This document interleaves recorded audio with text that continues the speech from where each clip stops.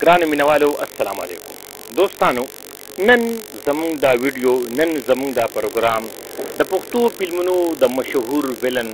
عمران خان خټک باره کې ده خو د هغې نه مخکې دوستانو ستاسو خدمت کې درخواست دی کومو ملګرو چې اوسه پورې زمونږ چینل نه دی سبسکرایب کړی تازه ترین اپډیټ بریکینګ نیوز تبصرو دپاره زمونږ چینل لازمی او خامخا سبسکرایب که او اوس په دی سات باندی یی سبسکرایب که ډیره ډیره مننه ډیره ډیره شکریه دوستانو عمران خان خټک د پښتو فلمونو مشهور ویلن کم از کم د یو انتازی مطابق عمران خان خټک ساړه چار سو یا پنج سو فلمونو کی کار کړی دی د ده تعلق د چراټ علاقی سره دی د ده اورجنل تاریخ پیدایش انیس سو ستاون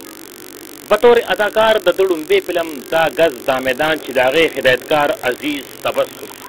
بطور اسسټنټ ډایرکټر د ده ړومبی فلم باز او شهباز او د دې فلم ډایرکټر سید انصف سعید یو د عمران خان خټک بطور هیرو ړومبی فلم شال او شمله مطلب اشنا او رسوایی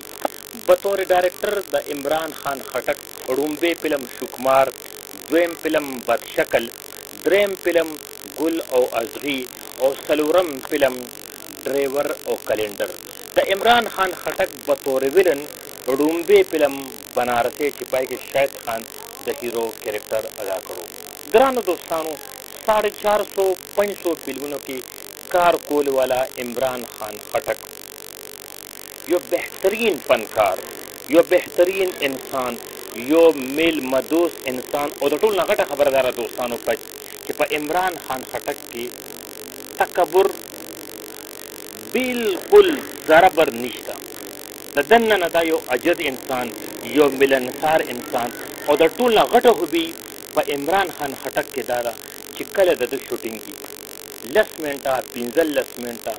شل منټه مخکې دې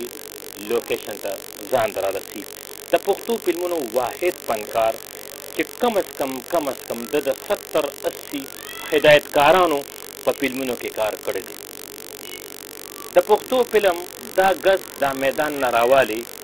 تر اوسه پورې یعنې اعلان جنګ او غلامي نه منم پورې ده بې شماره فلمونو کې کار وکړو یو نیچرل فنکار یو بهترین فنکار یو ټاپ سټار فنکار احری نښه ډم او ډاکو ناسور طاقت ازادی د وخت بادشاه د ټوپک ژبه حشر نشر د زخمونو حساب نه علاوه ده په بی شماره فلمونو کی بهترین او سپر سپر پرفامنس پیش کړی دی. ترنن نه څلور پنځه کاله یا شپږ کاله مخکې د پښتو فلم اقرار په سیټ باندې چې د هغې ډایرکټر شاهد عثمان و، زما او سره چې کوم دی ده سره په فرسټ ټایم باندې ډېر زبردست انداز کې انټرویو وشوه، ملاقات وشو او ده یو عجیبه خبره وکړه. ما ترې تپوس وکړو مې په انډیا کې ستا د ټولو نه د خوښې فلم کوم یو دی؟ ده ما ته وې وي د سني دیول، شاروخ خان او د جوهي چولا مشهور فلم ډر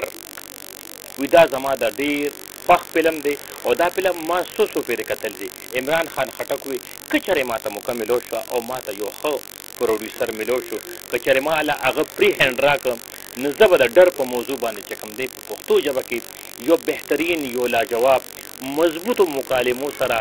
لاجواب میوزک سره یو فلم جوړوم ګرانو دوستانو د ډیر وخت نه عمران خان خټک په فلمونو کی راروان دی راروان دی په تور ویلن کار کوي او یو بهترین ویل دی زمونږ دا پروګرام په دی ځای باندی سر ته ورسوی اجازت غواړو د الله په امان.